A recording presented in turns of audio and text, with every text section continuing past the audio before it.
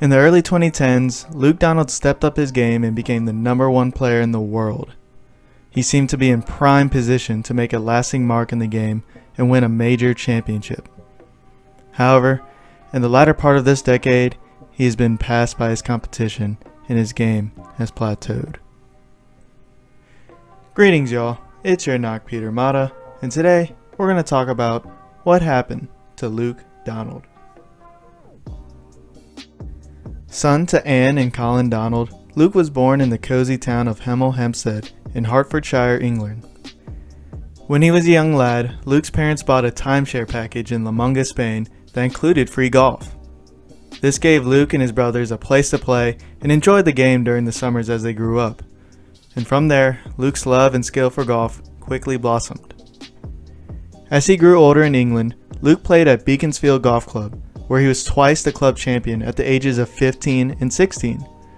Along with that and other successes in junior golf, Luke was hopeful that it could translate to the college level in the United States. Thus, he joined the College Prospects of America, which created a resume for him and sent it to all the major colleges and universities in the US. Several coaches responded. One particular that showed great interest was Wally Goodwin at Stanford University, who at the time had a young man named Tiger Woods on the team. While Luke didn't receive an offer from Stanford, Wally did recommend him to his previous school, Northwestern University in Chicago. There, Luke and the golf coach Pat Goss formed a wonderful working relationship. In 1999, Luke won the NCAA Individual Championship, where he beat the scoring record that was formerly held by Tiger. He won a dozen other times and broke many other school records. He also became the first amateur to win the Chicago Open in 2000. With such tremendous success in college, Luke naturally began setting his sights on a pro career. In 2001, he turned professional and received the max allowed of seven sponsor exemptions into PGA Tour events. He wasn't able to earn his card that way, but he was able to get through all three stages of Q School successfully during the fall and earn his tour card for 2002. In 2002, he was fairly consistent as he made cuts and racked up several top 25 finishes. In the last tournament of the year, he picked up his first PGA Tour win at the Southern Farm Bureau Classic. The tournament was cut down to 54 holes because of weather, but still, this capped off an amazing first year on tour for Luke. From 2003 to 2005, he had solid seasons on the PGA Tour. He didn't have any individual victories, but he had a few high finishes in premier events.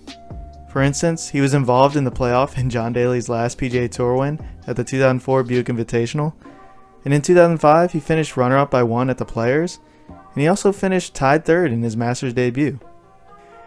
During this time, Luke also began establishing a successful footing on the European Tour. In 2004, he won two events by five shots. With that and more good play, it earned him enough credibility for Bernhard Langer to use a captain's pick on him for that year's Ryder Cup. In his debut there, Luke posted a 2 1 1 record that helped Team Europe win that event. Moving forward to 2006 and 2007, Luke continued his good play. In the beginning of 2006, he picked up his second PGA Tour win at the Honda Classic. In both the PGA Tour and European Tour during this time, he had steady play where he racked up several top 10s and top 25 finishes. He also had a great showing in the 2006 PGA Championship.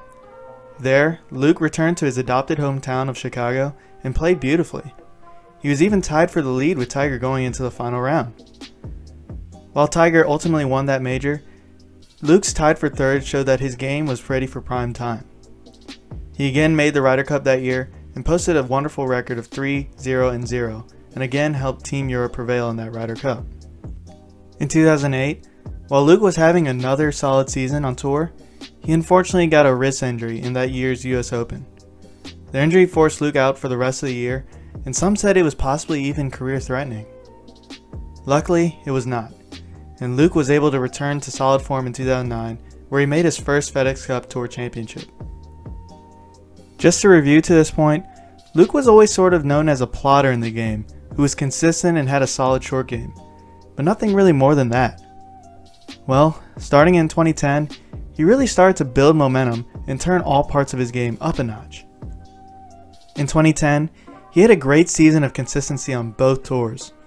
On the European Tour, he got his third win there, and while on the PGA Tour he didn't win, he did rack up a number of high finishes, including two thirds and three seconds. Overall, he finished third in the FedEx Cup that season, and again he played a big role in Team Europe's victory at the Ryder Cup with his 3 1 and 0 record. In 2011, he had the season we all remember him for. Early that year, he picked up his biggest win at the WGC Accenture Match Play Championship, where he beat the newly crowned number one Martin Kaymer in the finals. He came up just short a few weeks later at the Heritage, where he lost in a playoff to Brandt Snedeker, but with that finish though, he became number one in the world rankings and continued to roll on. Soon thereafter, he won the premier event on the European Tour, the BMW PGA Championship, where in a playoff he defeated another recent number one in Lee Westwood. A few weeks later, he picked up another win on the European Tour at the Barclays Scottish Open. Going to the last tournament of the PGA Tour year, even though he had finished third again in the FedEx Cup that season, he still had a chance to win the money title with a win. And coming up clutch, Luke did just that. He picked up his fourth PGA Tour win at the Children's Miracle Network Hospitals Classic and claimed the PGA Tour money title. With more good play, even later in that year, he ended up taking home the money title on the European Tour as well. This made him the first player to ever top the money list on both the PGA Tour and European Tour in the same year. In addition to all this, he racked up all the major awards from both tours that year. I'm talking Player of the Year and scoring titles. Other than not getting a major championship that season, this certainly was a dreamy year for Luke, where not only he played great and won, he was also beating his closest rivals. From there in 2012, he continued his splendid play. Early that year, he captured his fifth PGA Tour win at the Transitions Championship, and again at the BMW PGA Championship in Europe, Luke defended his title.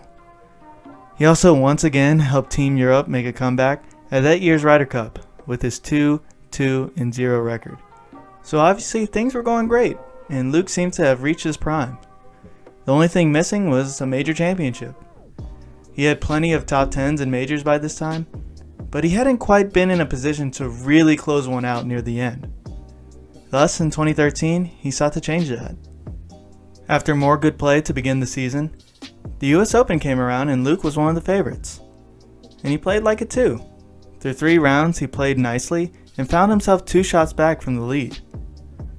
Unfortunately, it wasn't Luke who became the first Englishman to win the US Open since Tony Jacklin in 1970. It was Luke's good friend, Justin Rose. This seemed to be a turning point for Luke, and I'll talk about why I think this in a bit. But after his struggle that final round, Luke's consistency really has not been the same. He defended his title at the Dunlop Phoenix tournament in Japan later in the year, but other than that, 2013 was the last time he won worldwide. From 2014 to early 2017, he didn't play bad, but it just wasn't the same. He contended a few times here and there. Like I said, he didn't have any victories, and he also failed to make the European team for the Ryder Cup in 2014 and 2016. In 2017, things start to really take a turn for the worst, as after finishing second in the RBC Heritage, he missed the next eight cuts. Late in that year, he had a scare at the RSM Classic where he withdrew because he was experiencing chest pains. Fortunately, Luke was okay and was later released from the hospital with nothing serious. As he recovered though, he slipped outside the top 100 in the world rankings for the first time since 2002. Coming back to play in early 2018, he had very inconsistent results as he missed more cuts than he made. And in April of that year, Luke decided to take the rest of the year off in order to heal the herniated disc in his back, which he said he had been playing through in the past months. Letting his back heal, Luke returned in 2019 and was granted a major medical exemption for 15 starts to try to earn his card back. While he showed promise in some events, he didn't find enough consistency to keep his card. In 2020, it's been more of the same, as Luke is now relying on a career earnings exemption. So far though, he has not found any momentum in his game to this point, and as of this video, he ranks 418th in the world rankings. Which brings us to the big question. What happened to Luke Donald? Well, let's overanalyze, shall we? In the last few years, we can obviously chalk it up to injuries. In any sport, it's always tough to find a rhythm and game after coming back from injuries. So, as far as that goes, Luke deserves a pass since 2017. I think what we really should be looking at is exactly what led to his major back injury. Because I think it also had to do with what I was referring to earlier regarding his drop off since the 2013 US Open. So, to me, it first started when Luke saw his good friend Justin Rose win that US Open. This might be an unpopular thought, but I think after seeing that, Luke got a little disheartened that his fellow peer won a major in front of him. Which is natural, they are friends, and I'm sure he was happy for Justin like anyone would be for a friend. But with that also comes a competitive fire. Like, man, I missed a great chance there. That could have been me who won. To back up my theory, I point to Luke's actions later in 2013. So after another disappointing finish at a major in that year's Open Championship, where he missed the cut there, Luke decided to make some big changes. So for the longest time, Luke worked primarily with his college coach, Pat Goss, through his pro career. He even brought on Dave Alred in 2010, which obviously brought great results as he reached his peak in 2011. Well, in 2013, after that Open Championship, he went away from both of them. And some of you are going to love this, he decided to go and change his swing and do it with Chuck Cook. He originally wanted to do the swing change with Sean Foley, but Sean had a full plate at the time, so he recommended his mentor Chuck Cook to Luke. From there, Luke sought to not necessarily find more distance, but more consistency with his ball striking. He wanted more opportunities to come down the stretch of majors and have the ability to hit flush rockets on demand. Basically, he wanted to do what Justin Rose did in his US Open win. However, this swing change clearly did not bring the results that Luke wanted.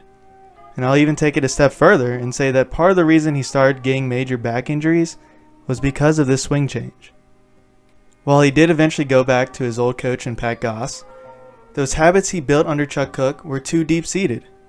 The changes made to his swing were simply too unnatural for Luke, and as we saw with Tiger and his Sean Foley swing, when you do something that doesn't fit with your natural fundamentals, you begin to experience injuries.